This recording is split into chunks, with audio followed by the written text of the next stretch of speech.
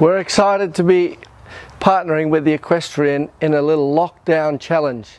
We've set up an exercise which we're going to show how it's done and we'd like you to try and replicate that at home.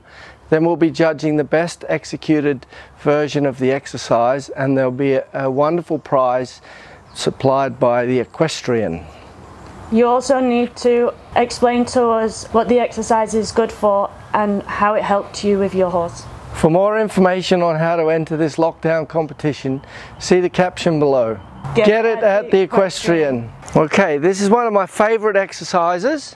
It's set up as three strides and three strides, which I'll walk for you now. So we've got two steps for landing.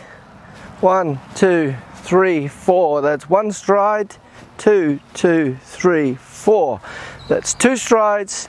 Three, two, three, four three strides and then about around about six foot for the takeoff.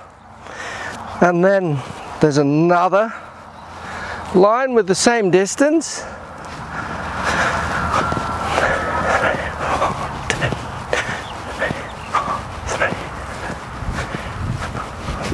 Okay, even though the, the, the exercise walks as three strides, I like to mix it up a normal working canter, you should get about four strides between each of the little jumps. Uh, and then you can adjust that by doing five strides in between each of them. Or if your horse is a little more responsive you could do six strides. And then I like to mix it up and try and do four strides then five strides in the second one.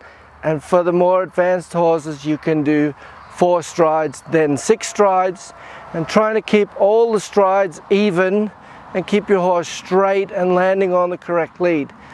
And to make it easy, it walks as three strides, but if you measure it, it's 16 meters between each jump.